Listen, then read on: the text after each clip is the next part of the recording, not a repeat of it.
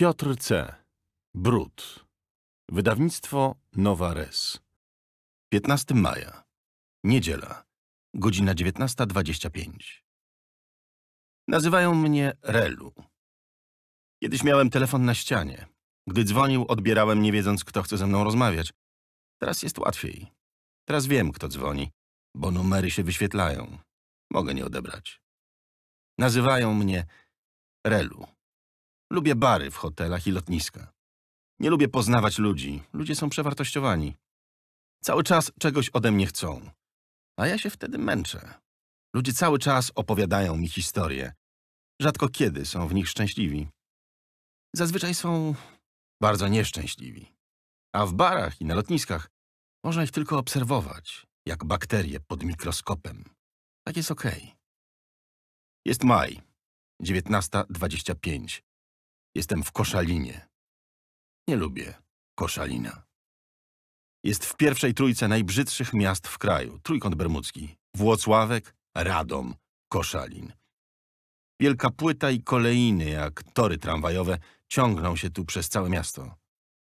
W tle Agnieszka śpiewa, że ona już tutaj nie mieszka. Słusznie.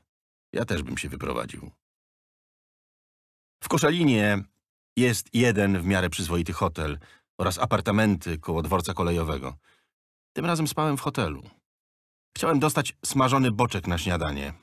Niedaleko jest stacja benzynowa, McDonald's, Biedronka, bar z bilardem, a facet z recepcji od razu zapytał, czy jestem w delegacji. Kiedy potwierdziłem, polecił mi jakiś dom publiczny, w którym ukraińskie agenturki o słodkich dupkach miały się pobawić moimi kulami. Podziękowałem. Chyba grzecznie. Nie mam nic przeciwko prostytutkom, to ciężko pracujące kobiety, ale nie mam ochoty na prostytutki. Jestem Relu. Lubię whisky, zimną wódkę i zimnego szampana. Lubię dobre jedzenie, lubię rano smażony boczek i świeżo wyciśnięty sok pomarańczowy.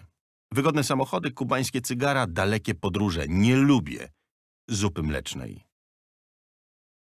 Mam na sobie ręcznie szyty szary garnitur od krakowskiego krawca, turbasy. Jeśli chcesz budzić zaufanie, włóż szary albo granatowy garnitur z niebieskimi koszulami i stonowanymi krawatami. Jeśli chcesz kogoś rozproszyć w trakcie rozmowy, zakładasz krawat w paski. Jeśli chcesz dominować, zakładasz krawat w mocnym kolorze czerwony albo żółty. Masz mocno zaciśnięty węzeł? Przywiązujesz uwagę do detali. Na stopach mam czarne, gładkie Oksfordy od warszawskiego szewca, Kielmana z ulicy Chmielnej. Drugie takie same leżą na górze w prawidłach. Buty muszą odpoczywać przez 24 godziny po każdym użyciu. Ludzie nie. Ludzie są widać bardziej wytrzymali. Jestem w barze, siedzę przy stoliku, mam przy sobie gazetę wyborczą, ale nie czytam.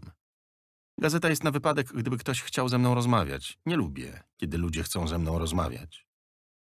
Zamiast żołądka mam napięty do granic możliwości bukłak, w którym chlupocze kawa z mlekiem ze stacji Orlen.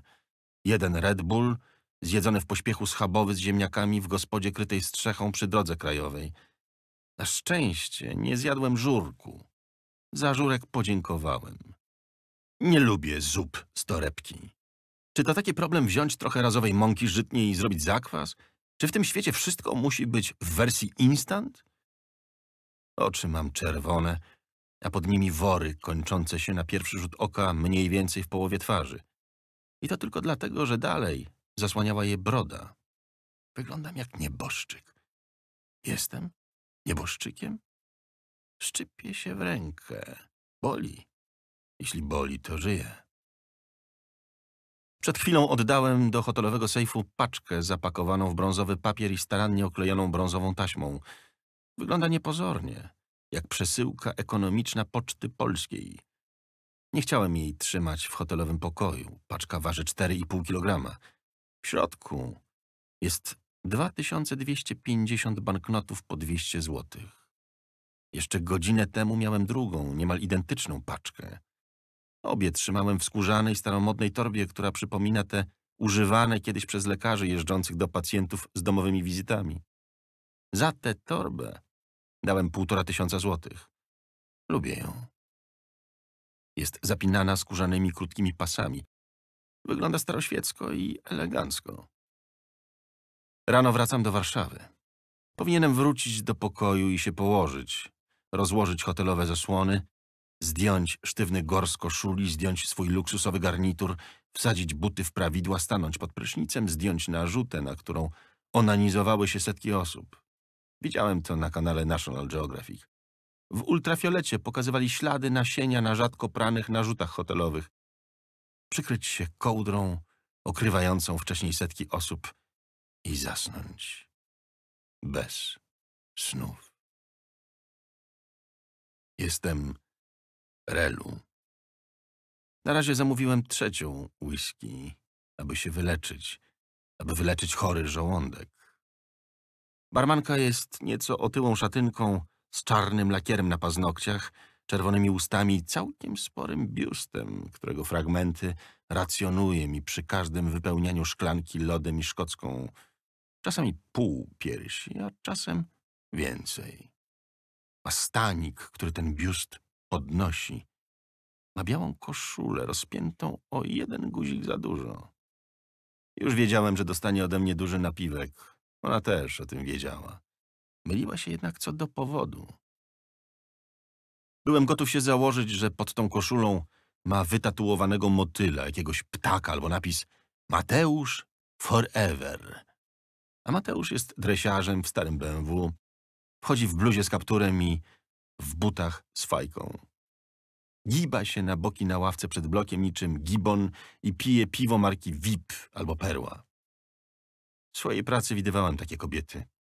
Zazwyczaj po drugiej stronie kontuaru, Polska B i C. Pokolenie biedoty wykształconej w lokalnych zawodówkach i wyższych szkołach gotowania na gazie. Kasy w sklepach, półki w obi, budowy, roznoszenie ulotek i bary z kebabem. Marzenia? Bycie menago w McDonaldzie.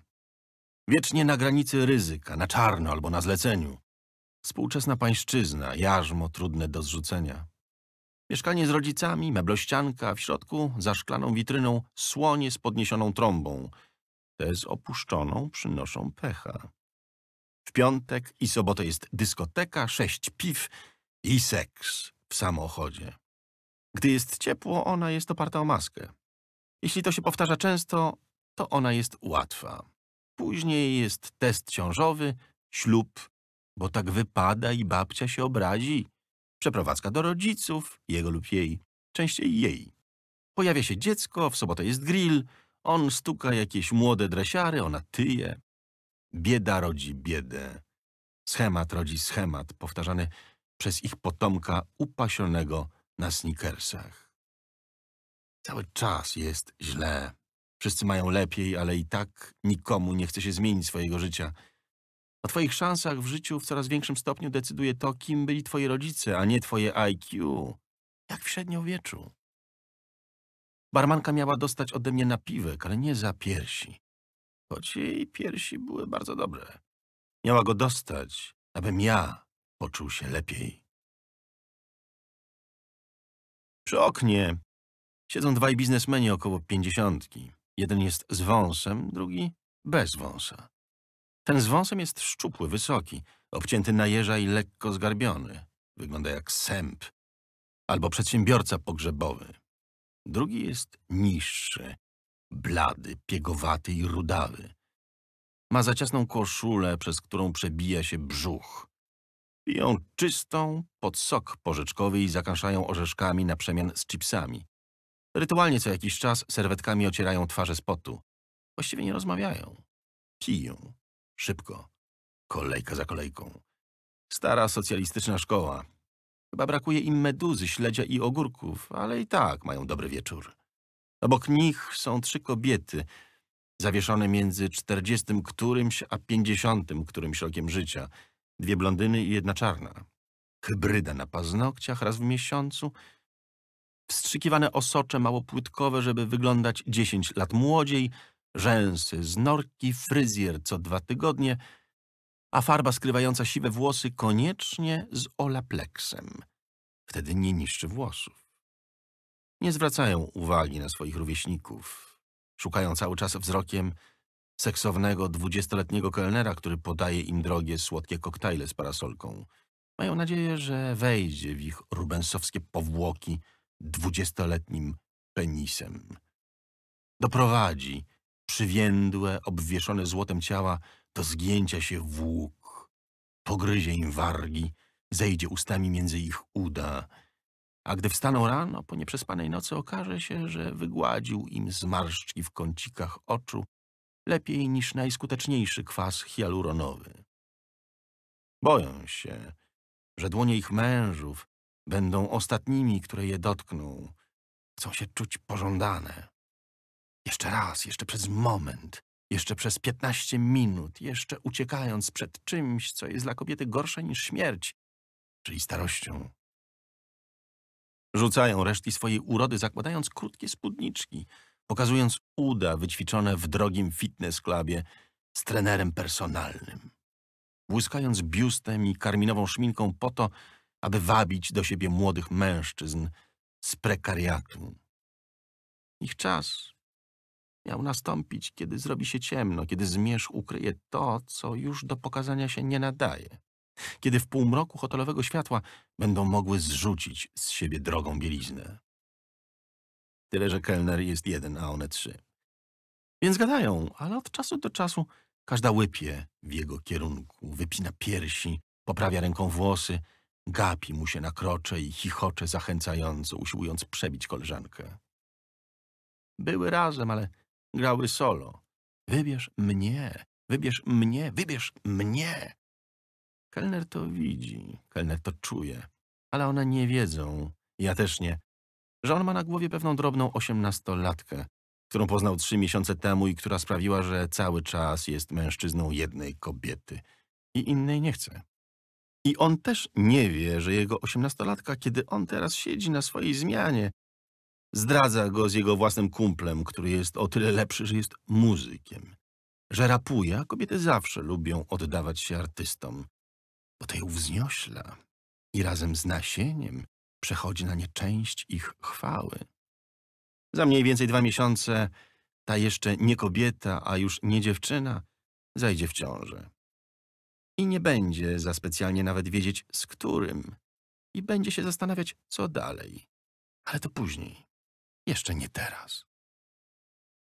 W barze jest młody mężczyzna w niebieskim garniturze, o starannie ułożonych brylantyną włosach. Widziałem ten jasno-niebieski garnitur w ubiegłym roku w Wistuli. Kosztował 899 zł i 90 groszy w promocji. Minąłem go bez słowa. Nigdy bym nie założył takiego garnituru. Mężczyzna ma buty ciemnobrązowe, starannie wypastowane, lśniące. Koszula biała, krawat granatowy w biało-czerwone pasy, obowiązkowa poszetka w brustaszy. Głowa wysoko podniesiona, w ręku biała filiżanka pije kawę. Najmniejszy palec wystawiony do przodu i sterczący. Wygląda trochę jak prezenter telewizyjny, trochę jak początkujący mówca motywacyjny.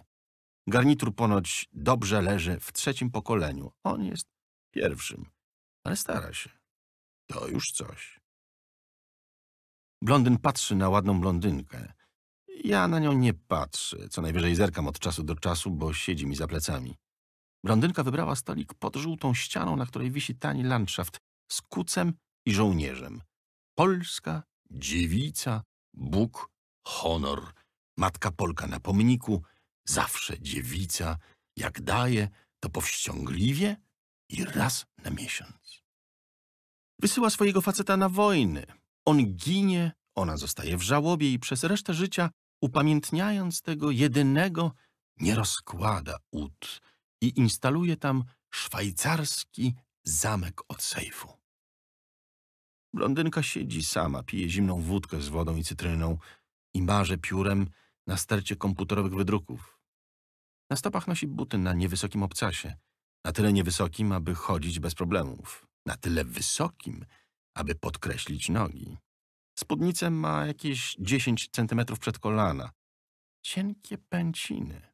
Nie, to konie mają pęciny. Jej nogi są po prostu długie, szczupłe i gładkie.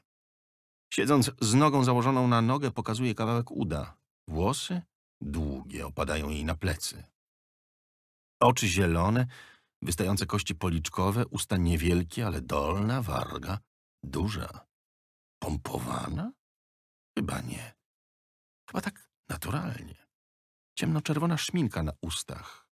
Pachnie pieniędzmi. I może kogoś może zmylić jej sukienka wyglądająca jak z sieciówki, ale jej włosy są świetnie obcięte i doskonale ułożone. Nawet jeśli farbowane, to tego nie widać. Kobieta ma skórzane, nie plastikowe buty. Na ręce drogi zegarek, bransoletkę z Pandory. Niebieski garnitur obserwuje ją łapczywie.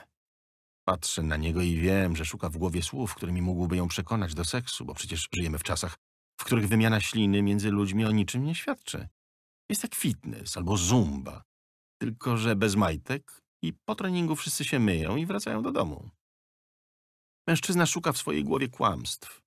Kłamstwa mogą być jednak dobre, czyli przekonujące, i złe, czyli nieprzekonujące. Mężczyźni obiecują kobietom różne rzeczy, których nie mają zamiaru dotrzymać, tylko po to, aby na chwilę zdjąć im majtki. Kocham twój tyłek. Tęsknię za twoimi piersiami. Śniłaś mi się, jak dobrze operowałaś ustami. Nigdy cię nie opuszczę. Do momentu, aż dojdę. Jesteś najpiękniejszą kobietą na świecie. Moim zdaniem w tej sukience wyglądasz jak absolwentka dyskoteki, ale skoro dobrze ruszasz biodrami, a ja nie mogę być z kimś innym, to poudawajmy jeszcze trochę, że jest nam razem dobrze, okej? Mężczyźni chcą wypełnić inne ciała. Kobiety chcą, aby ktoś wypełnił ich duszę, nadał ich pustce sens. Ale miłości nie ma. Są tylko złudzenia, którymi ściągamy się do łóżka. Patrzę na zegarek na swoim przegubie. Zegarek nie jest drogi. Jest bardzo drogi. To Breitling, chronomat GMT Automatic na skórzanym pasku. Jest 19.40. Piję. Whisky jest delikatna, słodowa. Pachnie jabłkiem i cytrusem. Kiwam ręką. Barmanka skwapliwie nalewa mi kolejną porcję. Nie powinienem już pić. Za dużo piłem dzisiaj. Rano jadę z tego miasta. Mam nadzieję, że nie wrócę tu zbyt szybko. Chcę się upić. Nie mogę się upić. Rano mam zjeść jajecznicę na boczku, napić się kawy z mlekiem, bo dzięki mleku jest zdrowsza dla żołądka. Zjeść francuskiego rogala z masłem i powidłami, wrzucić swój neseser do bagażnika i jechać do Warszawy. Niebieski garnitur przełyka ślinę, zbiera się na odwagę, usiłuje coś powiedzieć. Chce być bogiem seksu. Chce, aby kobiety służyły mu swoimi ciałami. Chce, aby blondynka służyła mu swoim, więc wstaje, idzie, uśmiecha się z daleka. Wszystko, czego pragnie, jest po drugiej stronie strachu. Puk, puk, mówi. Głos ma zaskakująco sympatyczny. Kto tam? Pyta uprzejmie blondynka. Ja słucham, barmanka słucha. Kelner nie słucha, nie może słuchać, jest za daleko. Półkanko? Wyjaśnia niebieski garnitur i się uśmiecha. Blondynka wie, że jest ładna, a jak o to zadba, to piękna. A ten mężczyzna mógłby się jej nawet spodobać. Mógłby ją pociągnąć, bo ma mocno zarysowany podbródek, duże oczy i silne ręce. Jak masz na imię? Aldona, odpowiada ponuro. Jestem Antek. Mogę postawić ci drinka? pyta on. Nie pije. On patrzy zdziwiony na jej szklankę. To wódka, pokazuje na szkło. W sumie to nie wiem. Kiedy mi nalewali, butelka była już otwarta, odpowiada blondynka. Garnitur baranieje. Kłamczuszka, mówi w końcu. Blondynka pociąga soczysty łyk ze swojej szklanki, uśmiecha się do niego szatańsko. Mężczyźni zawsze kłamią, dlaczego nam nie wolno? Kłamanie to najlepsza rozrywka kobiety, mówi, poza zrzucaniem z siebie ciuchów. Jest okrutna. Niebieski garnitur nie nadąża. Jego skrypt nie przewiduje takiej odpowiedzi. Może zrzucisz je przede mną? Próbuje jeszcze. Barmanka prycha pod nosem z lekceważeniem. Ja nie prycham, trochę mi go żal. Trochę jestem zażenowany. Blondynka udaje cień zainteresowania, udaje, że zastanawia się przez chwilę, w końcu odpowiada.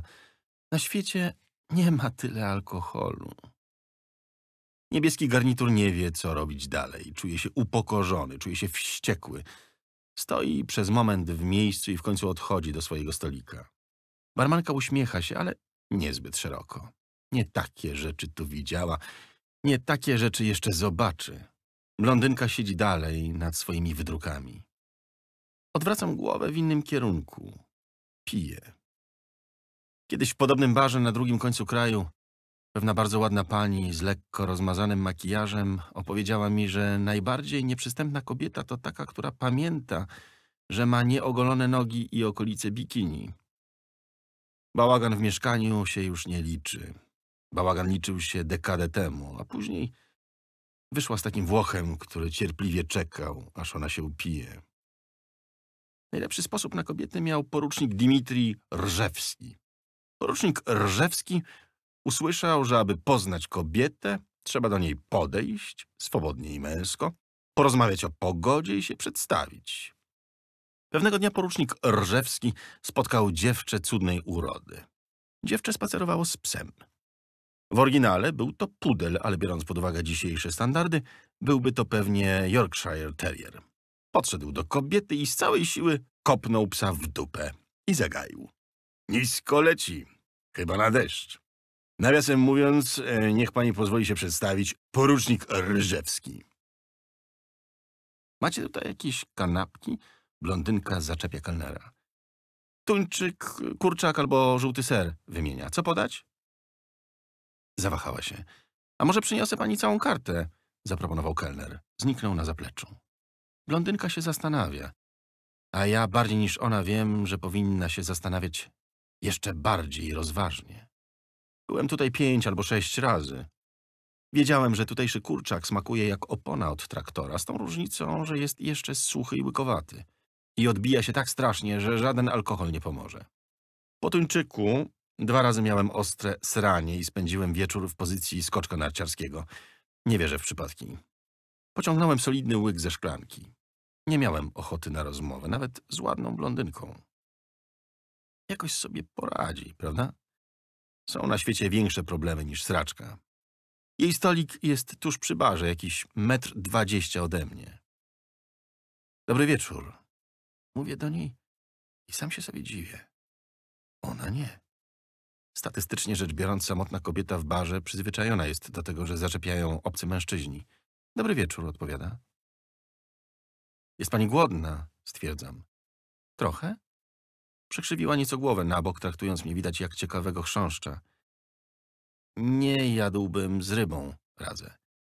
Wydaje mi się, że uprzejmie. Tak jak na mnie to uprzejmie. Blondynka patrzy na mnie badawczo. Dlaczego? pyta. Zastanawiam się chwilę, co jej odpowiedzieć i nadal pozostać kulturalnym mężczyzną w dobrym garniturze, w wypastowanych starannie butach.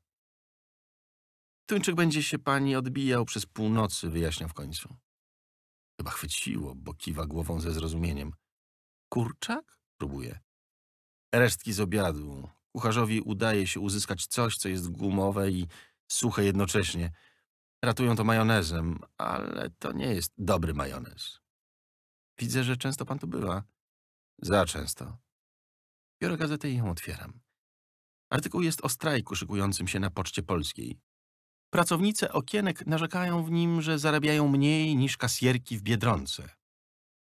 Blondynka zamawia kanapkę z serem, wyciskany sok z pomarańczy oraz jeszcze jedną wódkę.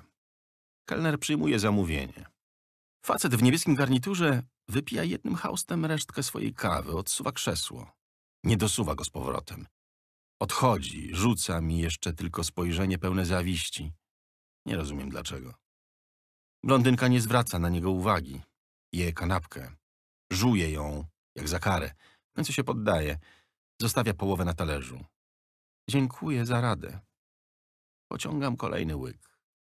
Depresja pojawia się w momencie, kiedy pijesz i alkohol już na nic ci nie pomaga. Nie mam depresji. Lubię pić. Nie ma za co, odpowiadam w końcu. Wracam do gazety. Czytam, że OECD wymaga od nas podniesienia podatków, bo wydatki publiczne są zbyt rozbuchane. W tekście wypowiada się kilku zatroskanych ekspertów, którzy do pracy dojeżdżają Volvo albo Subaru w najwyższej konfiguracji. Mieszkają w przyjemnych apartamentach na warszawskim Powiślu, a ich myśli skupiają się wokół prywatnych szkół dla dzieci, kochanek i wakacji na Bali. W tekście są zatroskani. W tekście apelują o społeczną solidarność. Dlaczego pan się zatrzymuje w tym hotelu, skoro jest taki kiepski? pyta ona. Słucham? Dlaczego zatrzymuje się pan w tym hotelu, skoro jest taki kiepski? Dla boczku. Podają to rano smażony boczek. Wyjaśniam spokojnie. Nie wracam do gazety. Nie mogę wrócić do gazety, kiedy ta kobieta mnie o coś pyta. To byłoby nieuprzejme. Człowiek dobrze wychowany ma się odnaleźć we wszystkich okolicznościach życia. Wiesz pan, co rozczarowuje kobiety? Patrzę na nią. Oceniam, że jest nieco pijana. Później zastanawiam się nad jej pytaniem i odpowiadam w końcu metr dziewięćdziesiąt, dziesięć centymetrów, tysiąc pięćset netto? Kobieta się śmieje. Kobiety są w stanie wybaczyć tysiąc pięćset na rękę. Kobiety są w stanie dużo wybaczyć mężczyznom pod warunkiem, że ich kochają. Kobiety są w stanie wszystko zrobić dla miłości, ale zawsze są rozczarowane brakiem zainteresowania. Mówi blondynka, a ja kiwam głową ze zrozumieniem. Po prostu jest zaciekawiona. Po prostu jesteśmy w barze.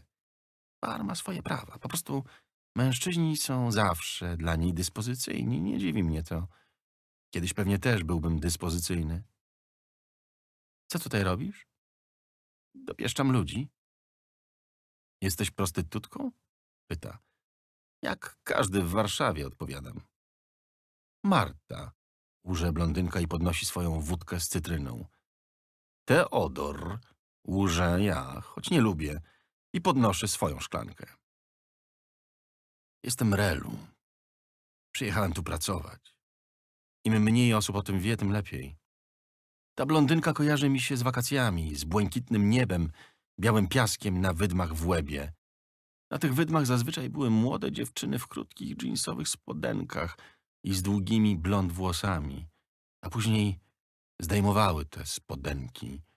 Nosiły skąpe bikini, ich pocałunki były słodkie i wilgotne. Usta smakowały tanim błyszczykiem, skóra była nagrzana od sierpniowego słońca, włosy targał wiatr. Miały ziarna piasku na płaskich brzuchach, na udach i na stopach.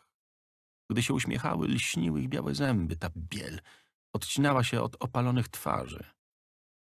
Kiedy o tym myślę, czuję w lędźwiach tęsknotę za tym, co było, za tym, czego już nie będzie. Ta kobieta była kiedyś taką dziewczyną na piasku. Blondynka, która chce, aby nazywać ją Marta. Mówi, że kiedy kobieta ma więcej niż 25 lat, to żadne słowa faceta nie są w stanie jej zaskoczyć. Pije swojego drinka i cedzi nagle udawanym basem. Chodź, pokażę ci małe kotki. Zerżnąłbym cię nawet na trzeźwo. Byłaś kiedyś na Kubie? Nie. Cześć. Kuba jestem. I moje ulubione. Widzę, że lubisz wpierdalać. Coś nas łączy. Akurat jadłam hamburgera z frytkami, wyjaśnia. Ładne, przyznaję. Podoba mi się. Jest w tym pewna szczerość. Kobieta umiera, kiedy odchodzi jej młodość. Ile czasu ci jeszcze zostało, Marto? Piętnaście lat? Może nawet dwadzieścia? Ma typ urody, który bardzo wolno się starzeje. Pozwoliłam mu postawić sobie drinka. Temu od kotków również. Ach, i oczywiście zapomniałabym o takim jednym, który podszedł, stanął obok, spojrzał i powiedział Masz linijkę? To odmierz 21 centymetrów. Niestety brakowało mu dwóch zębów z przodu. Powiedział, że wybili mu, jak był w więzieniu. Tym razem śmiejemy się obydwoje. Najgorszy jest typ postawię ci, bo mnie stać, baby, zauważyła.